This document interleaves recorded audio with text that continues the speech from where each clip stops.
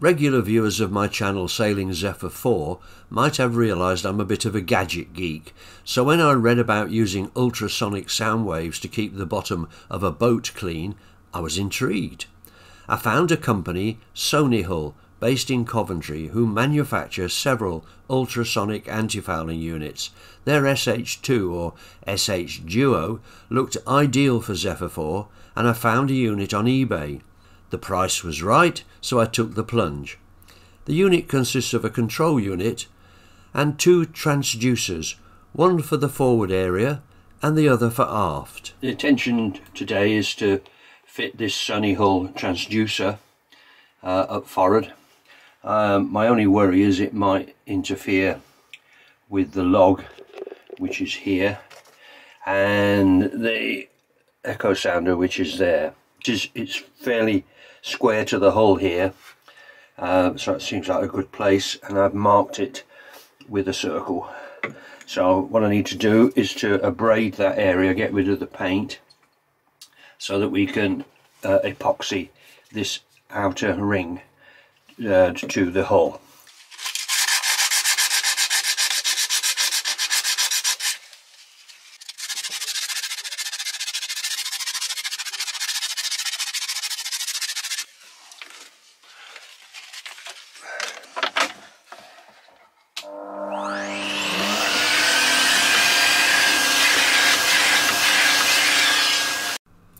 Now to mix some of the supplied epoxy and glue the mounting ring in place. It takes six hours for the epoxy to cure, so I'm just adding some weight to hold it in place. Well, the mounting ring has uh, been here all night now and the uh, epoxy's gone off hard and it seems very firm there, no bother at all. And uh, ready to uh, um, screw the transducer in but because the uh, the surface underneath is not necessarily flat uh, an option is to use one of these uh, aluminium discs and you glue that in in there and then the transducer uh, mounts against that with the um, jelly stuff that they supply. So the next job is to drop that in there with a bit of uh, epoxy on the on the inside and then we can screw the uh, transducer on top and squash it down. And then we leave that for a few hours to set. But uh, I was a little bit worried about this epoxy because it didn't seem to be going off but that's really firmly on there. And I have screwed the uh, the transducer in the top and it it, uh, it hasn't moved. So up to now we're doing well. There's the transducer in um, aluminium plate underneath it glued to the inside of the hull. Just need to tidy up the uh, the wiring then we can cover that back up again. The last few days have been spent groveling around in the uh, in the bilges and under the lockers and things uh, running cable. Uh, here's here's a cable running underneath there that's going to be clipped up under there shortly and then it goes um, under the floorboards here um, and eventually will end up at the uh, navigation uh, area which hopefully will be considerably tidier than it is right now. Uh, not a pleasant job groveling around on your hands and knees but has to be done. Now I need to tackle the rear mounted transducer. There's the mounting ring epoxied in place. There's the other transducer mounted. I've just got to wait for the epoxy to go off underneath the brass coupling plate uh, and then I can switch the whole thing on. I'm mounting the control box under the chart table. You need to remove the front cover to expose the holes for the mounting screws. It's out of the way there and close to the 240 volt shore supply and the auxiliary 12 volt supply. It runs on 240 volts if that's present, but defaults to 12 volts when it's not, but will shut down if the 12 volts drops low, so it won't flatten the battery. It's uh, fairly easy to get cables from here to the 240 volt AC switchboard and fortunately that has a spare switch to connect to. Similarly, the house battery bank is just the other side of the bulkhead. This is the uh, AC 240 volt power switchboard on Zephyr 4 fairly basic and there's a spare um, switch contactor whatever you want to call it uh, just here called aux which isn't being used behind the scenes it's fairly straightforward. The neutral line is here. Uh, the uh, all the earths are joined together here. And uh, uh, I just need a push on connectors for the um, for the live. So here's the cable. Here's the cable.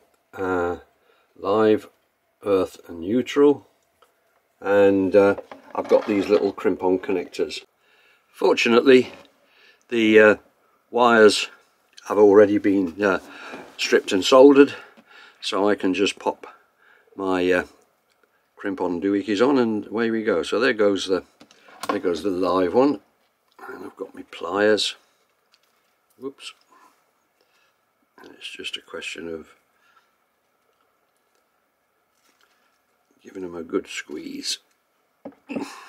And another one there that's not going to come off. And then we can do the uh, the earth wire.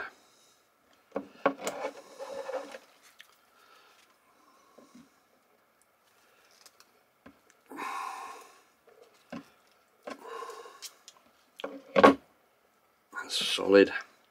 And the neutral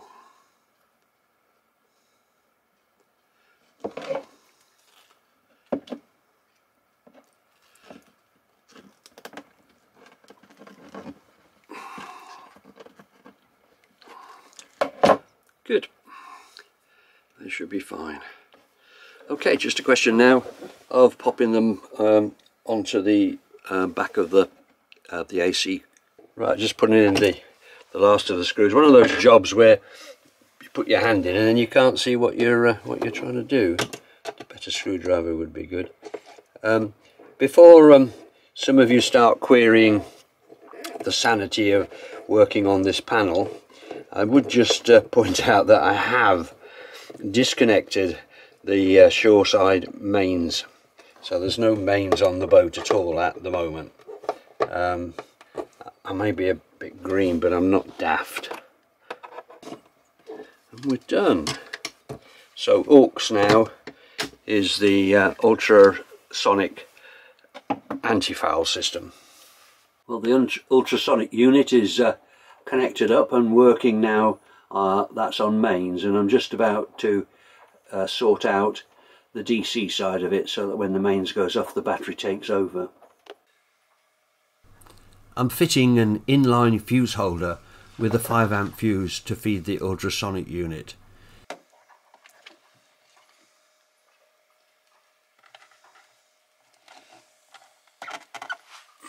We sailed the following day and all the instruments worked as before, so my fears of interference were unfounded.